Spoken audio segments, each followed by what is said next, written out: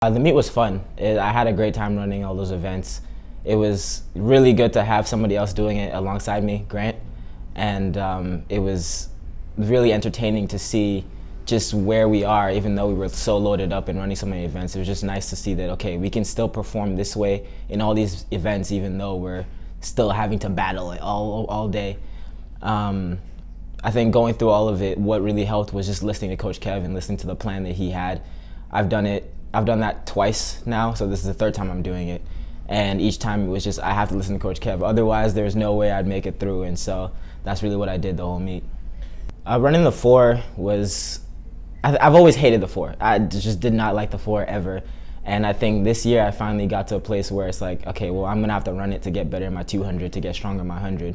And so me finally accepting that was what allowed me to run the 46 indoor, and then now coming back and run another 46 outdoor. I listened to Coach Kevin. the game plan was just go out there and try to run a personal best in the prelims, just so that I can focus on the one and the two the following day. And that's exactly what I did. I think throughout the day, Coach Kevin, Coach Kevin told us we weren't running the 4x4. He told Grant and I we weren't running it, and so that was out of our minds. And so we went out to every event just kind of thinking, all right, new race, just running like it's the last one, focus on this one and not worry about what's to come.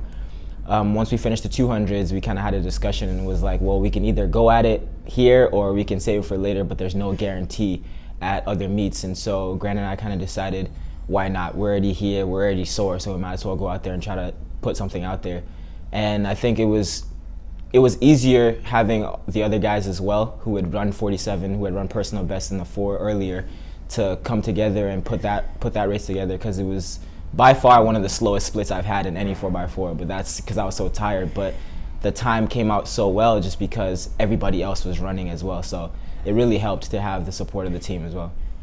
It was fun. It was. I felt I, I didn't really think about it while I was competing that it was going to be my last, like my last time here. But once they, they the announcer started to say it, once I was receiving the most outstanding outstanding athlete, it kind of came like hit me, and it was like, wow, this is my last time. And like I've had a fun run, like it's been great. I've accomplished a lot, and I'm, I'm proud of myself, honestly, and proud of my team. Grateful to my coaches because honestly, I wouldn't be able to do half of the things I did if it wasn't for my coaches. And going forward, past Pac West, I want to go into nationals and do something even more crazy out there. So that's the goal.